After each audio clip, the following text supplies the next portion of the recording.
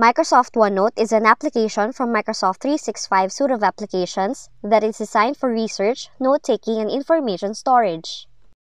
And in OneNote, they also have their own version of digital sticky notes docked to your desktop, which is called Quick Notes.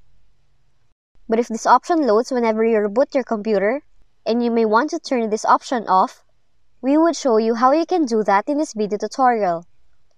Now, the Quick Note feature is also known as the Send to OneNote tool which you can disable the option in the Task Manager. You can access your Task Manager by going to your taskbar, right-click on it, and then select Task Manager. On the window, click the Startup tab in the horizontal tabs, and then find the Send to OneNote tool. Once you have located it, select it, and then click the Disable option at the bottom. Then, close the Task Manager window. Now, the Quick OneNote should no longer appear on your screen when you reboot your computer.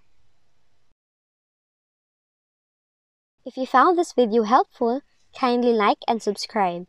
You may also click and turn on the notification bell so you can be notified from whenever we release new videos.